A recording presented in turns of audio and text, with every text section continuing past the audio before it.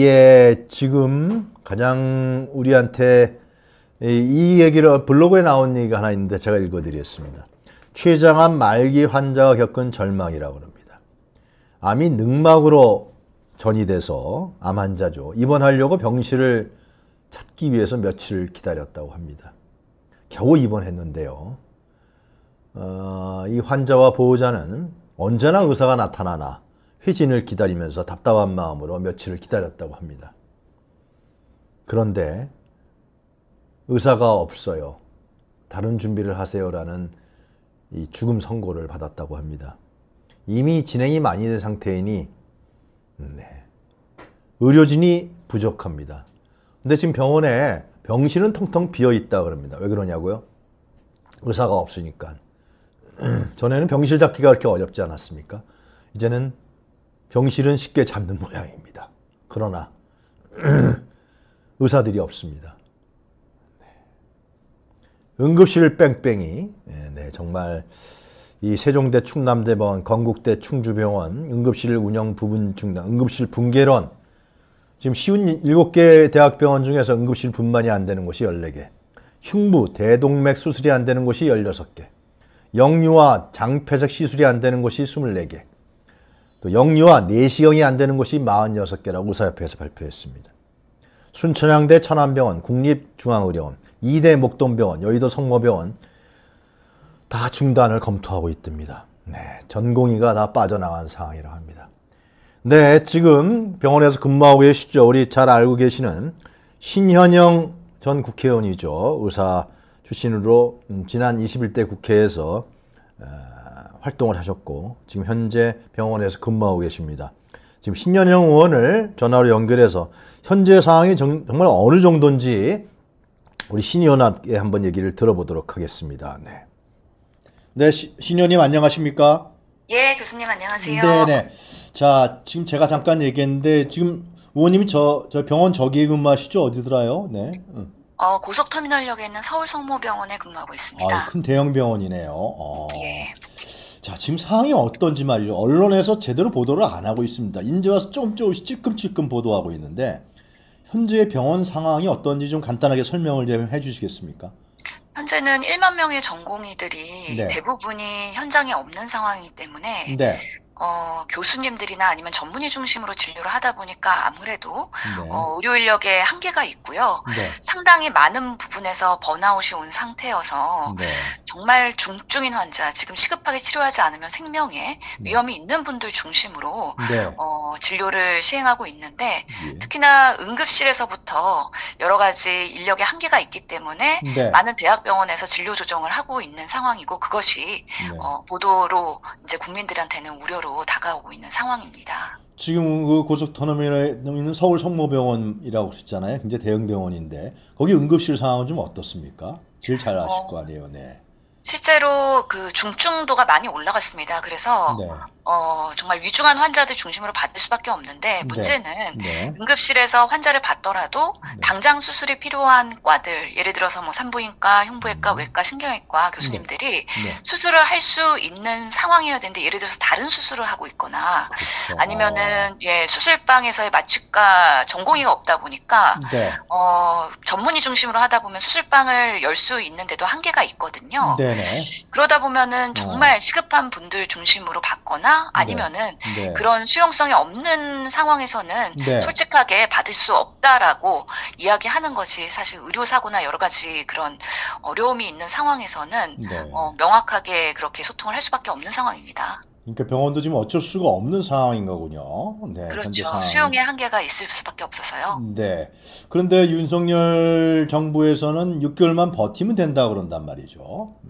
지금 이 의료 대란에 대해서 뭔가 의사 집단과의 싸움으로 보고 있는 시각이 참으로 아, 안타깝습니다. 네. 음. 처음에 2,000명 의대 증원할 때부터 의사 집단의 카르텔이고 이 카르텔을 깨기 음. 위해서 음. 뭔가 개혁을 해야 되는 대상으로 보았기 때문에 네. 상당히 젊은 의사들 입장에서는 음.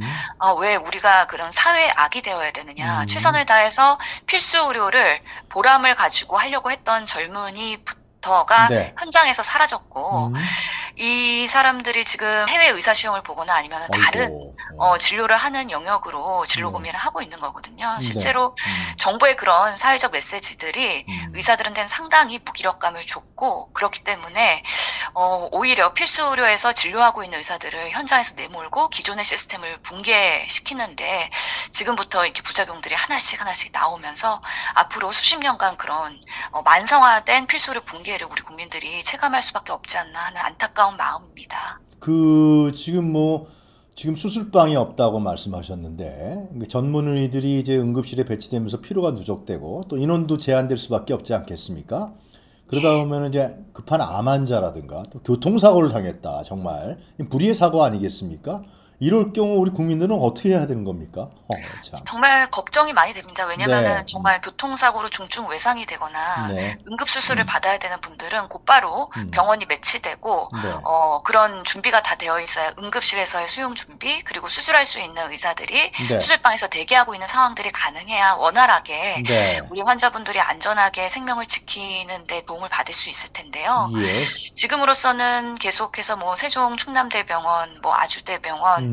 정말 그 진료 조정할 수밖에 없다. 예를 들어서 수요일은 우리가 응급실 문 닫을 수밖에 없다. 아이고. 이런 방식으로의 대학병원들조차도 네. 기존의 시스템에서의 원활이 될 수 없는 부분이 분명히 있고요. 네. 특히 추석 기간 동안에 정부가 군의관이나 공보위를 235명을 파견한다고 했지만. 이 어, 음. 의사들이 음. 직접적으로 수술하거나 시설을 시술을 하거나 할 수는 없는 상황이거든요. 네. 어. 그렇기 때문에 아무래도 기존의 시스템에서의 원활히 하는 데 있어서는 근본적인 대책이 아니고 반창고식 대응이다. 아. 그래서 정말 안타까운 부분들이 있고 네. 어, 그 피해가 국민들의 건강과 생명에 지- 직결되는 거기 때문에 네. 지금 대통령실에 이렇게 끝까지 고집 부리면서 뭔가 싸움으로 개혁으로 이렇게 포장하는 것 자체가 음, 우리 국민들을 오히려 건강 안보에서의 불안을 네. 초래하는 방식으로의 음. 대응이다. 그래서 참 정책 결정자들이 현장성을 모르고 네. 이렇게 피상적으로만 대응을 하는 거에 음. 대한 안타까움이 상당합니다. 그 의원님 그 뭡니까 지금 서울과 수도권은 그래도 조금 조금 낫다 현재 상황에서 근데 지방은 정말 정말 심각한 모양입니다. 지방 예. 같은 경우는요. 네. 실제로 지방의 국립대병원이나 지방의 대학병원에 있는 교수님들도 사직을 네. 꽤 많이 하셨거든요. 아, 그래요. 어. 예, 이번 사태를 보면서 네. 어, 사직을 하고 오히려 수도권에 있는 지금 병원들에서 채용을 했을 때 지원을 한다거나 네. 오히려 그래서 의사들조차도 수도권 쏠림 현상이 이 시점에서 가속화되고 있다. 네. 그래서 지역 의료를 살리고 필수 의료를 살리려고 했던 그 음. 정부의 취지와는 반대로 지금 현상이 나타나고 있다면 네. 정부도 시- 그 정책 실패에 대한 선언을 하고 음.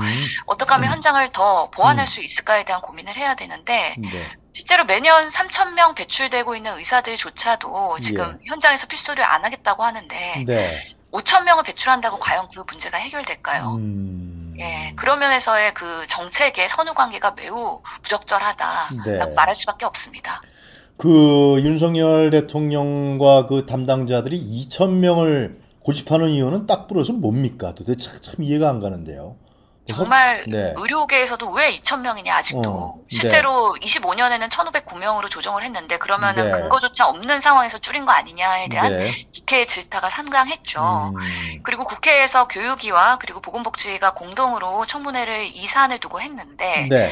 실제로 배정위원회나 정부가 하고 있는 위원회 회의록도 다 말소시키고 폐기시키고 아, 그래요? 어. 예, 그러면서 근거 자료를 만들어 놓지 네, 않고 음, 그것을 네. 국회에 제출하지 않는 음, 정부의 모습이 급 급해서 한 거다. 말로만 근거가 있다. 충분히 네, 음. 뭐 협의했다라고 하지만 아, 실제로 의료계의 당사자들이나 네. 아니면은 국회의원들이 검증을 할 수 있는 근거가 없는 상황에서 음. 말만 갖고 신뢰할 수 없다. 그래서 이 정부의 그런 판단과 과정에 있어서 구조적으로 상당히 잘못됐다라는 비판을 어, 면하지 못할 것입니다. 알겠습니다. 자, 시간이 많지 않아서 또 어, 우리 의원님도 바쁘시고 해서 오늘은 이 정도 정리하고요. 한번 저 스튜디오를 한번 모셔서 의원님한테 자세한 얘기를 좀 들을 수 있는 기회가 됐으면 좋겠습니다. 바, 바쁘시지 않을 때요. 네. 예, 이 상황에서 많은 국민들과 네. 의료계와 전문가들이 네. 문제가 있다라고 큰 목소리를 합쳐서 내야 어, 정말 대통령실도 움직일 수 있지 않을까 싶어서요. 네. 어, 집중 조명 보고 보도해 주시기 바랍니다. 네, 의원님 바쁘실 텐데 이렇게 전화 인터뷰 응해 주셔서 대단히 감사합니다. 고맙습니다. 감사합니다. 네, 고맙습니다. 네, 지금까지 신현영 전 국회의원, 민주당 국회의원이었습니다. 네. 자, 여러분들, 지금 상황이 보통 심각한 것 같지가 않습니다. 지금 뭐, 구체적인 상황에 대해서는 우리 신영, 신현영 어, 전 의원께서 말씀을 해주셨습니다만은, 이게, 진, 올해 2월이죠. 2월에 의사정원이 2,000명을 하겠다라고, 어, 윤석열 대통령이 얘기하면서 일방적으로 발표했죠. 그러니까 국민들은 환영했던 게 사실입니다. 왜? 의사 수가 부족하다는 걸 알고 있기 때문에. 지방 의료라든가 공공 의료도 중요하기 때문에. 근데 의사들은 반대하기 시작했습니다. 에, 의료 현장의 문제라든가 아, 자신들의 물론 이제 기득권들도 있었겠죠. 그럼 이것을 당연히 공론화 시켜서 협상하고 그리고 국민들에게 공감대를 얻어서 구체적이고 합리적인 안을 제시해야 되는데 이놈의 정권은 말이죠. 그러기는커녕 계속해서 2천 명을 밀어붙였습니다. 여론조사에서 2천 명 증언한다는 것이 잘 나오니까 그게 총선 전이었습니다. 총선용으로 써먹었던 것이죠.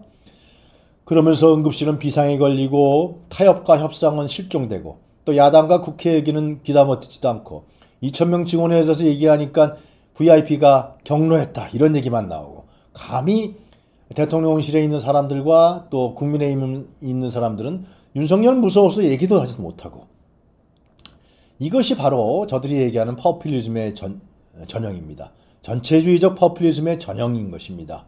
그러면서 그 전체주의적 퍼퓰리즘은 어디로 가느냐? 바로 독재로 가는 것입니다. 독재로 가는 길을 의도적으로 그리고 아주 교묘하게 획책했다. 그러가밖에 볼 수가 없습니다. 이것은 지금 이런 상황이 지속된다 그러면 이거는 의료농단입니다, 여러분. 국정농단과 버금가는 의료농단이고 이건 국민 생명을 담보한다 이 정도 차원이 아니라 국민 생명을 앗아가면서 자신의 정권을 유지하는 이거는 아주 반인간적이고 반인륜적인 행위를 현재 윤석열 정권이 하고 있다 이렇게 제가 말씀드리지 않을 수가 없습니다. 의료 재난, 의료 공백 국민이 아프면은 병원을 가야 되는데 아파도 병원 가지 못하는데 그냥 뭐 과거에 있었던 뭐 침이나 맞아야 되는 겁니까? 그냥 약천악해야 되는 거예요, 우리가? 네. 이렇게 발달된 전 세계에서 거의 상위 클래스에 들어있는 의료 시스템이 붕괴되는 현실에 직면하고 있습니다. 외교, 안보, 국방 다 망가뜨리고요. 이제는 국민의 생명까지도 앗아가는 이러한 정권이 돼버렸습니다. 우리가 무엇을 해야 될 것입니까, 여러분? 뻔하지 않습니까? 사실상 민주당에서 한다 그래도 이 행정 권력을 민주당에서 갖고 있지 못하기 때문에 그 한계가 있을 수밖에 없습니다. 하여튼 여론은 들끓고 있는데요.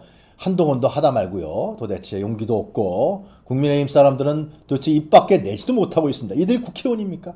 이들이 집권 여당의 국회의원입니까? 하여튼 참 한심한 상황이 지속되고 있습니다. 의료 농단 상황입니다. 자, 저희들이 준비한 모닝 이슈터부터 보시고 돌아오겠습니다.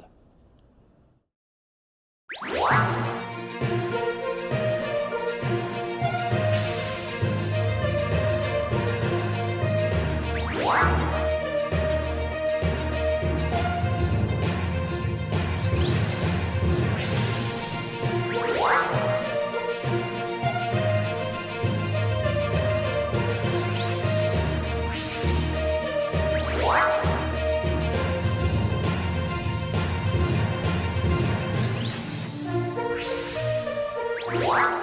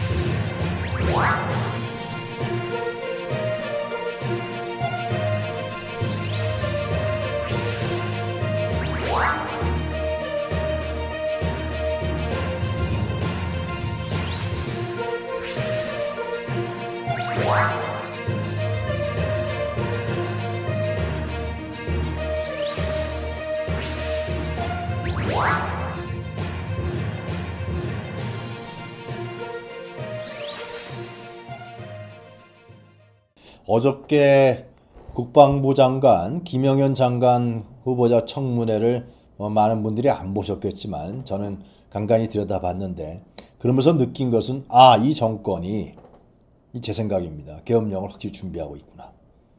진짜 이들은 언제든지 국지전 형태를 유발시켜서 그것을 계엄령으로 이어갈 정권이다. 어, 서슴치 않을 정권이다. 이러한 그 뭐라 그럴까요? 느낌? 네, 그런 걸 가졌습니다. 그러면서 결국 우리가 싸울 수밖에 없다라는 생각도 많이 갖게 됐습니다.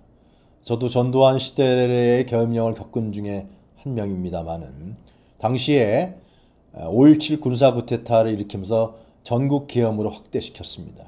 그 당시에 서울의 봄, 서울의 봄에 수많은 학생들이 모여 있었는데 시민들이 일망타진하면서 검거하고요. 뭐 국회의원들은 할뭐뭐 얘기할 것도 없고 당시에 DJ, YS, JP 등은 다 검거에 가택 연금시켜 버립니다. 그리고 계엄사에서 계엄사에서 어, 주요 인사들 리스트를 미리 다 작성했었겠죠. 작성해서 틀어 막습니다. 언론은 완전히 통제했고요. 네. 학생, 대학생, 대학교는 탱크들이 진입해왔고 탱크로 대학교 교문을 막아버렸습니다. 그리고 각 지에 있었던 청량역이나 주요 서울 요지 전국의 군인들이 총을 들고서 M16을 들고서 지켰습니다. 그리고 많은 학생운동 지도자, 민주화운동 지도자들 그리고 국회의원들은 도망다녔습니다. 이들이 이것을 계획하지 않 분명히 했을 거라고 생각합니다. 특히 박근혜 계엄 문건을 검토했다라는 것이 점점 드러나지 않습니까? 네. 아, 그 조, 조, 조현천인가요? 기무사령관. 네. 지금의 김영현 장관 후보자하고 육사 동기생인지 아주 그렇다 그럽니다. 분명히 대통령실로 불러서 경호처로 불려서 검토했을 것이다. 이런 얘기들이 현직 의원들 중심으로 얘기들이 나오고 시작하고 있습니다. 어제 청문회에서 육사 31기라 그러죠. 한기호 38기 후배 김용현에게 개헌 100번이고 검토하라고 얘기했습니다. 세상에 이런 일이 지금 국회에서 벌어지고 있습니다. 이들은 이미 육사생들끼리는 계엄에 대해서 공감대를 형성하고 있는 것이 아니냐. 다시 우리의 시대를 만들자. 그래. 윤석열 네가 앞장서서 해라. 계엄이 이루어지게 되면은 군인이 다시 한번 이 사회를 지배하는 사회가 됩니다. 검찰 군 연합 정권이 만들어지는 것입니다. 검찰과 군이 함께 독재 정권을 만들어하는 진짜 볼 수 없는 상황이 발생합니다. 거기서 군을 대표하는 사람이 김용현이고 검찰을 대표하는 사람이 윤석열이 되는 것입니다. 천하에 볼 수 없는 정권이 발생할 수도 있습니다. 믿어지지 않는 현실이 다가오고 있는 것 같습니다. 모든 것이 벽에 막히고 또 탄핵이 현실화되면 윤석열 할 수 있는 유일한 방안일 수밖에 없다는 것이 믿어지고 있습니다. 여러분. 충암고를 전면 배치했다는 얘기도 나오고 있습니다. 지금 국방부 장관 충암고, 행안부 장관 충암고 이 사람들은 계엄을 건의할 수 있는 장관들입니다. 합동수사본부장, 과거에 전두환이 이걸 맡았었죠. 12.12 쿠데타 이후에 합동수사본부장을 어, 이것이 보안사령관, 즉 국군방첩사령관 현재 여기도 어, 충암고 출신이 여연영이라고 지금 이미 임명해놨습니다. 777 사령부도 충암고와 장악했습니다. 통신을 장악하는 곳이죠. 여러분 서울의 봄을 보면 통신 장악하는 게 장면이 나오죠. 자 방송 장악 가장 중요하죠. 방통위원장, 방통위원회 절대 두 명에서 양보하지 않습니다. 왜? 방송을 장악해야 되기 때문에. 아마 여러분들이 시청하고 계시는 이 유튜브도 아마 구글 코리아를 통해서 폐쇄할지도 모릅니다. 모든 수단과 방법을 다 강구해 놨을 거라고 생각합니다. 그래서 댓글에 보면은 계엄령이 이루어졌을 경우에 우리의 대책 대책할 수 있는 어, 내용들이 나와야 된다. 이 정도 얘기까지 나오고 있습니다. 네. 수도 주요 지휘관을 육사 출신들도 포진했다고 합니다. 네. 자, 한 말씀만 더 드리고 음, 다음 순서 넘어가겠습니다. 리얼미터에서 어제 여론조사가 있었는데 29.6%를 기록했습니다. 이걸 보면요. 매우 잘함이 14.7%, 잘하는 편이 14.9%입니다. 영남권에서 하락했습니다. 부울경에서 3.2% 하락했고 대구 경북도 40.1% 간당간당합니다. 대구 경북에서 40%를 무너지면은 이 정권은 사실상 여론조사로 봤을 때 이 정권은 무너지는 기운이 보수층에서 이반한 현상이 나타날 수밖에 없습니다. 이번 의료 대란은 이 정권의 기반인 70대 이상의 어르신들과 그리고 TK에서 이반 현상이 격렬하게 나타날 거라고 보여집니다. 그러나 중요한 것은 아랑곳하지 않는다는 것입니다. 이들은 아랑곳하지 않는다. 그래. 5%가 지지해도 나는 나갈 것이다. 뭐 그런 생각을 갖고 있지 않겠습니까? 보수층에서 이반해도 요즘 보수층 오피니언들이 계속 얘기하고 있습니다. 그러나 얘기를 듣지 않고 있습니다. 그 정도입니다. 현재. 네. 박근혜 탄핵 때의 자료를 잠깐 볼까요? 박근혜 탄핵 때 10월 첫째 주, 이 리얼미터 여론조사입니다. 어제는 저희가 갤럽 여론조사로서 보여드렸는데 리얼미터 여론조사를 보면은 10월 첫째 주 긍정이 33.7%, 네. 그리고 10월 둘째 주에 긍정이 31.4%, 그 다음에 10월 셋째 주에 급격하게 떨어지기 시작합니다. 28.5%. 지금 29.6%로 떨어졌죠. 아마 의료 대란 문제와 물가 민생, 물가 민생 문제가 제일 심각하죠 현재요. 경제 문제 이런 것이 겹치게 되면 추석을 전후해서 더 떨어질 것입니다. 그것이 10월 넷째 주 19%입니다. 그리고 계속해서 11.5, 11.5, 그 다음에 결국은 11월 셋째 주에는 9.7%입니다. 네, 9월 추석 때 많은 여론이 돌 것이고 그 이후에 아마 국민들은 거리로 나오지 않을까 생각합니다. 사과도 없고 반성도 없고 아무런 조치도 취하지 않으면 어제 청문회를 봤을 때는 틈만 나면 틈만 나면 계엄령으로 밀고 나올 것이다라는 것을 제 내피셜로 음, 확인할 수 있었고 거의 참여했던 민주당 국회의원들도 한결같은 목소리로 얘기했습니다. 모든 국회의원들이 민주당 의원들이 다 얘기하더라고요. 네. 자, 여러분 이 부분이 현실화되는 것 같습니다. 우리도 각오를 해야 되지 않을까 아, 그런 생각마저 듭니다. 한 줌밖에 안 되는 세력들입니다. 우리가 국민들이 전체가 동의하고 국민들이 전체 들고 일어나면 이 세력은 쥐구멍으로 숨어들 것이고 뿔뿔이 흩어질 것이고 분열할 것입니다. 그건 우리 역사 속에서 봐왔습니다. 그리고 미국과 일본도 아마 지지를 거둘 것입니다.